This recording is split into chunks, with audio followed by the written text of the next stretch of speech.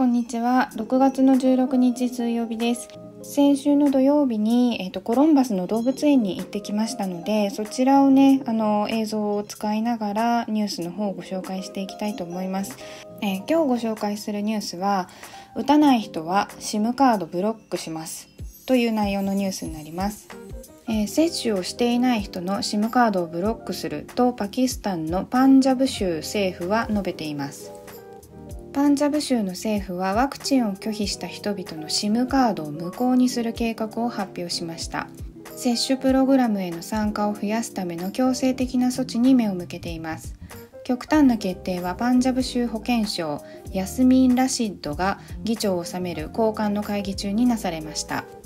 ラシッド氏は、えー、私たちは人々にワクチン接種を強制するためにできる限りのことをしています。政府はワクチン接種を受けたくない個人がすでに接種を受けている人々の命を危険にさらすことを許すことはできません。と述べました。えー、メディアの報道によると SIM カードの制限に加えて当局はワクチン未接種の人々が公園レストランショッピングモールに行くことを禁止する可能性もあるということです。えー、パキスタンにおいてこのワクチン接種に対して極端なアプローチをとっているのはこのパンジャブ州だけではなく、えー、他にですねシンド州というところでは接種を拒んだ公務員の給与を停止する計画っていうのが発表されているようです、えー、以上がニュースの内容になります。ということで今は世界的にですねその受けた人には得点をで受けていない人には罰則をというような感じの雰囲気がねちょっとありますね。でアメリカなんかでもまあ得点って言ったらあのまあねオハイオ州なんか1億円当たるとか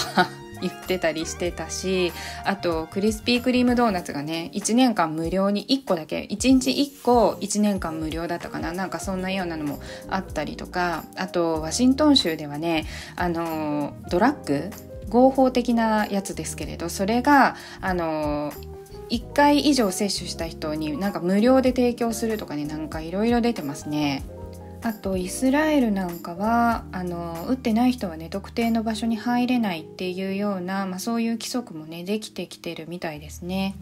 で、まあ、パキスタンという国は共和制の国なので、あのまだね民主主義が勝っている国民主主義の国っていうのはまだそこまでのことは、まあ、よっぽどできないと思うんですけれどその民主主義国家においてそういうね強硬手段を取ると国民が一致団結してこう反対の声を上げるっていうので、まあ、政府がね政府側としてはその転覆しちゃうのでなかなかそういうことはできないと思うんですけれどまあそれにしてもねパキスタンのこの強硬手段はすごかったですね。今のところ実行はされていなくてあくまで計画されているっていう段階なんですけれどでもこれは実行しそうな気がしますね。パキスタンという国は共和制の国なのでうー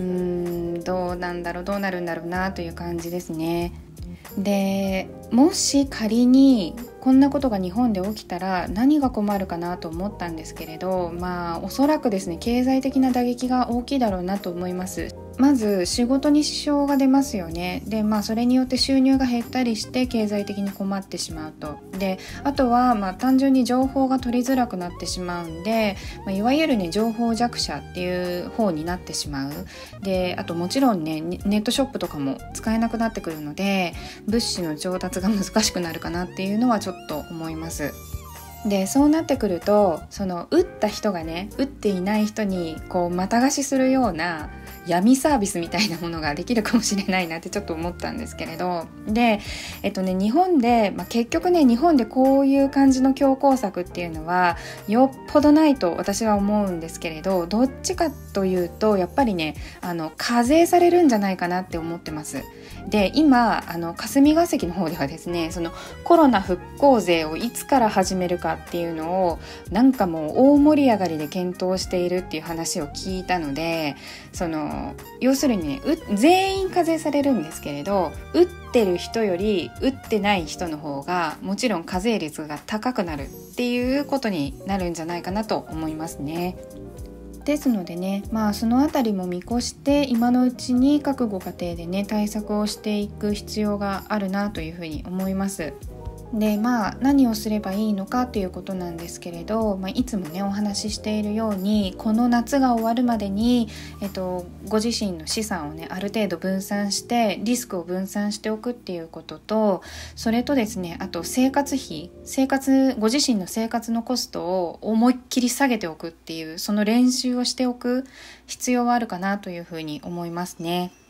でまああとはね自給自足半分ぐらいでいいので自給自足でご自身のねその食食事っていうのが賄えるようにしておけばいいんじゃないかなというふうには思います。まあ他にもねいろいろあの今ねアメリカの方でアメリカ人が何やってるのかなっていうのを最近ちょっと調べ始めているのでその辺りもねまたご紹介できればいいなというふうに思います。